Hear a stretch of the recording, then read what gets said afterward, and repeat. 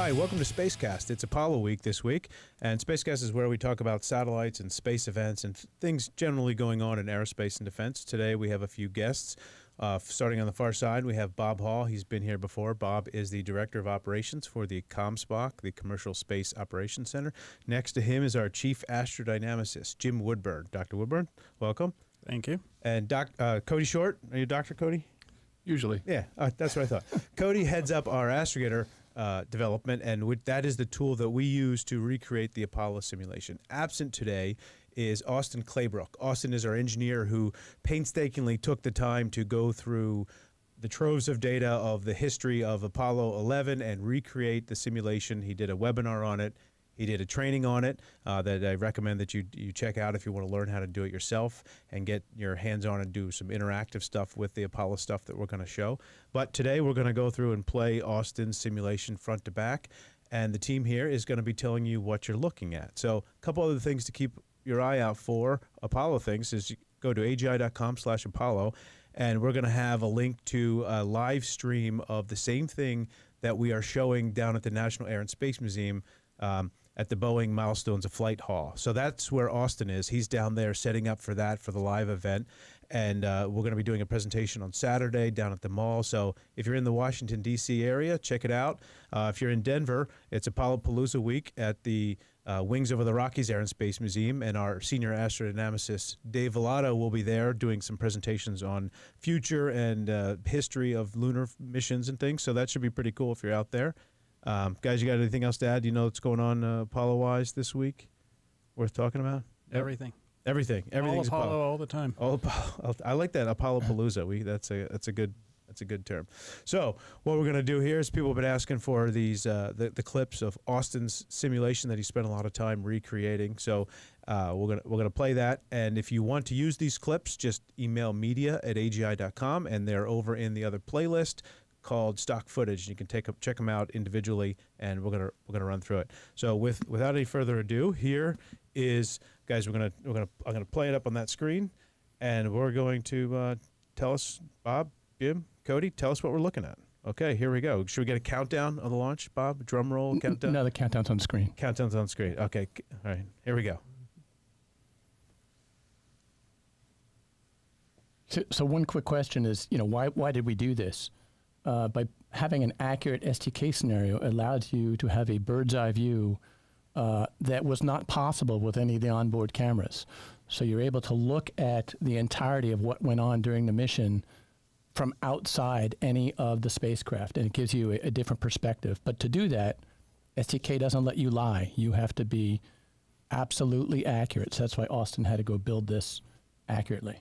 Right. And during during this initial uh, launch segment, you know, we see the Saturn V going up, uh, burning a tremendous amount of fuel during this period of time. In the first 150 seconds, we're going through 500,000 gallons of, of fuel. Not exactly compliant with today's fuel economy standards. it's not like a regular hybrid. Yeah, yeah, definitely. And then we just saw that the uh, first stage dropped off. Um, moving on now on the second stage. There goes the launch escape tower. So they're fully committed at this point. Can't escape. Can't right, escape. Right.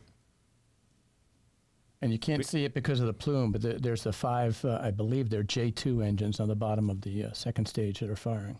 I feel like we should add in some uh, rocket noises or something here. Right. Cody, can you out now, here? now this is this is now the third stage. We jumped ahead. This is the translunar injection. So right. they're about four hours into the mission, or sorry, two and a half hours into the mission, and they just burned to leave Earth orbit and head towards the moon or into translunar orbit. Right, and that's a that's a really crucial part because the whole uh, mission to the moon type scenario is a you can think of it as a rendezvous type thing. You have to get to the moon when it's at the place where you're going. So it's all about timing uh, of your orbit against the, the lunar orbit. And here we're seeing uh, the command service module has separated and is rotating around and is going to come back to the third stage to pull out the uh, lunar module. There are a lot of steps along the way that if you don't hit those steps, like your translunar injection, or if you can't do this docking, like everything's off. So Right, like just getting the hard dock on the LEM, all that. And now everything we see on the screen right here is now on its way toward the moon. Uh, so so they, they do this, and now that third stage, which has kind of done its job, is going to fly towards the moon. That's right. And another interesting part about this was that that entire um, maneuver where the service module pulls the lunar module out, that was all done manually by Mike Collins. So this in this particular part, um, you just saw the uh, the whole configuration spin up. That spin is initiated to uh, control the thermal aspects of the mission. So you don't want one side pointed towards the sun for too long; it'll get too hot. So they roll the spacecraft in order to manage uh, the thermal issues that go along with a mission like this. Affectionately referred to as the barbecue roll. Barbecue roll. Right, and, and it's because the trip to the moon is about three days long. We've jumped ahead very quickly in this video. They sit that way for three days. They couldn't have one side get heated, so they had to do that. S- Right. Slowly roasting. Like And so now we're we're going uh, well. We're arriving at the moon here, and it is now starting the lunar orbit insertion burn. So if in the absence of this particular maneuver, which you can see was in the opposite direction of the spacecraft motion, um, the entire configuration would have just continued to fly by the moon. So they had to slow down in order to be captured by the, the lunar gravity. Again, to see how that happens with the other stage of the rocket there, it's kind of just continuing on. Yeah, that's the uh, spent third stage there. Now, now here we are. We're on July 20th here. Um, Armstrong and, and Aldrin are in the LEM. The legs are out. They've undocked, uh, and now they're going to head down to the surface. Right, and this this whole um, sequence of you know doing this uh, undocking at the moon, taking the uh, lunar module down to the surface, and then bringing it back up to the command uh, module again, that was a that was a huge design um, decision that had to be made. Whether these types of configuration changes would be made in Earth orbit or in lunar orbit or if we would just do a direct ascent and direct return type mission. Um, the uh, the doing this at the moon allowed us to use a lot less fuel, um, but at the same time, if anything went wrong, there was really no uh, rescue plan for the astronauts. I'm always impressed by how every step along the way is critical. It's just you have to be able to execute the things that you plan to do and, and practiced. And um, you don't hear when Armstrong takes over and manually lands the LEM. It's uh, I'm always impressed by these things.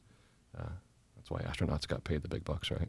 Right, so now if you pay attention to the altitude in the low right right hand corner there, we're getting pretty close. We're about 600 feet above the surface and dropping. And at this point, Armstrong is taking control. Notice now he's hovering. He stated that the automation was about to bring them into a football field sized crater, so he took over, went past it, and oh, by the way, was down to about 16 seconds of fuel when he landed. Right. And we've skipped over the actual um, lunar surface portion, so that was the fastest 22 hours you ever experienced. And we're now uh, taking the um, the astronauts back up to rendezvous with the command module again. Um, one interesting part about when they were on the moon, though, um, while they were on their way, the vehicle was known as the Eagle. But as soon as they landed on the moon, then their call sign switched over to Tranquility Base. Right, and and when they're docked, uh, they are Apollo 11. It's only when they're undocked that they have their individual names.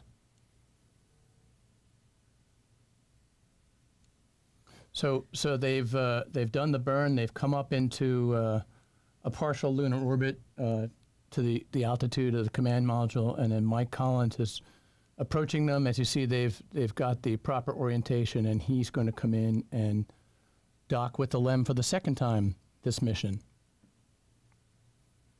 Second time's easier, right? One would hope. But again, this is another cool you know, shot. critical part of the mission that if anything went wrong, you know, there there would have been no uh, no contingency plan there. So, so we, we jumped ahead three days. Now we're at the Earth already. They've they've come home. They're about to separate the service module. It's done their job. It served them well. You're going to see the latch on the top there open, and the service module gets ejected. so that the command module can uh, turn around and go through the fiery reentry. Right. Notice it's nighttime over Australia as they're coming in. and they're coming back right now at about 24,500 miles an hour. So when they uh, hit the atmosphere thing here, things are really going to heat up.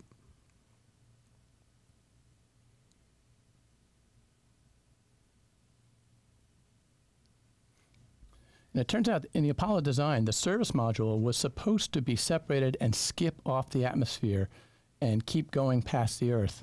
On the first few Apollo missions, there was a problem, or uh, let's say an unexpected design with the separation that resulted in the service module re entering alongside the command module. Not necessarily close, but at least uh, in one case, I think Aldrin reported he could see the service module re entering out his window. Yeah, that would be a little disconcerting. I mean, you can just imagine what's going through the astronauts' minds at this point.